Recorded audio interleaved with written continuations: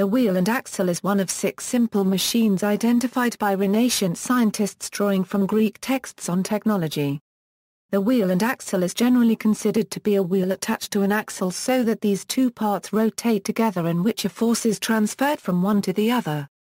In this configuration a hinge, or bearing, supports the rotation of the axle. Hero of Alexandria identified the wheel and axle as one of the five simple machines used to lift weights. This is thought to have been in the form of the windlass which consists of a crank or pulley connected to a cylindrical barrel that provides mechanical advantage to wind up a rope and lift a load such as a bucket from a well. This system is a version of the lever with loads applied tangentially to the perimeters of the wheel and axle, respectively, that are balanced around the hinge, which is the fulcrum. The mechanical advantage of the wheel and axle is the ratio of the distances from the fulcrum to the applied loads, or what is the same thing the ratio of the radial dimensions of the wheel and axle. History The earliest well-dated depiction of a wheeled vehicle is on the Bronocice pot, a circa 3635 a Euro 3370 BC ceramic vase, excavated in a Funnelbeaker culture settlement in southern Poland. The oldest known example of a wooden wheel and its axle was found in 2002 at the Ljubljana marshes some 20 km south of Ljubljana, the capital of Slovenia. According to radiocarbon dating, it is between 5,100 and 5,350 years old. The wheel was made of ash and oak and had a radius of 70 cm and the axle is 120 cm long and made of oak. Mechanical advantage The simple machine called a wheel and axle refers to the assembly formed by two discs, or cylinders, of different diameters mounted so they rotate together around the same axis forces applied to the edges of the two discs, or cylinders, provide mechanical advantage. When used as the wheel of a cart the smaller cylinder is the axle of the wheel, but when used in a windlass, winch, and other similar applications the smaller cylinder may be separate from the axle mounted in the bearings. It cannot be used separately.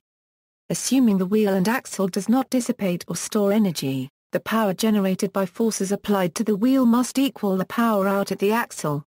As the wheel and axle system rotates around its bearings, points on the circumference, or edge, of the wheel move faster than points on the circumference, or edge, of the axle.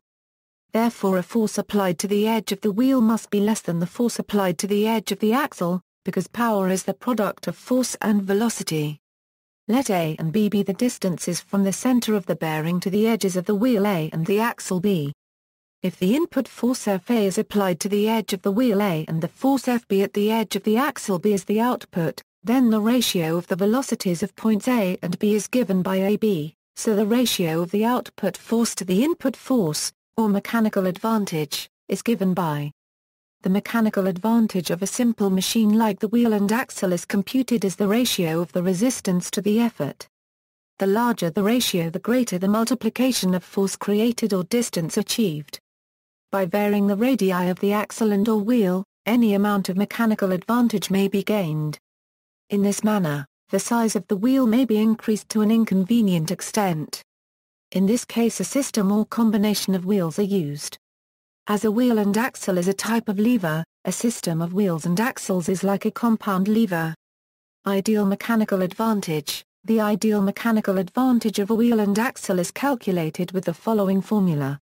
Actual mechanical advantage The actual mechanical advantage of a wheel and axle is calculated with the following formula. Where R equals resistance force, that is the weight of the bucket in this example. The actual equals actual effort force, the force required to turn the wheel. References, Wheel and Axle, The World Book Encyclopedia, World Book Incorporated, 1998, pages 280 to 281, Usher. Abbott Payson. A History of Mechanical Inventions. USA, Courier Dover Publications. PA 98. ISBN A0486255593X. Elroy McKendree Avery, Elementary Physics, New Yorker Sheldon and Company, 1878. A. B. Bowser, Edward Albert, 1890, An Elementary Treatise on Analytic Mechanics, with numerous examples.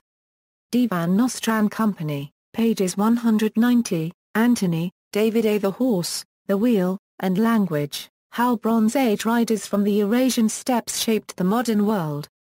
Princeton, New Jersey, Princeton University Press. PA 67. ISBN A0-691-05887-3 Alexander Gasser. World's oldest wheel found in Slovenia.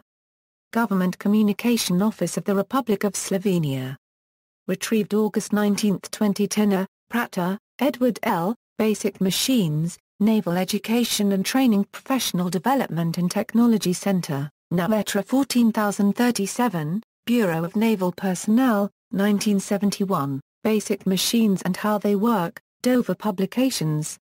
J. J. Uicker, G. R. Pennock, and J. E. Shigley, 2003, Theory of Machines and Mechanisms, Oxford University Press, New York. Baker, C. E. The Principles and Practice of Statics and Dynamics a Euro for the use of schools and private students.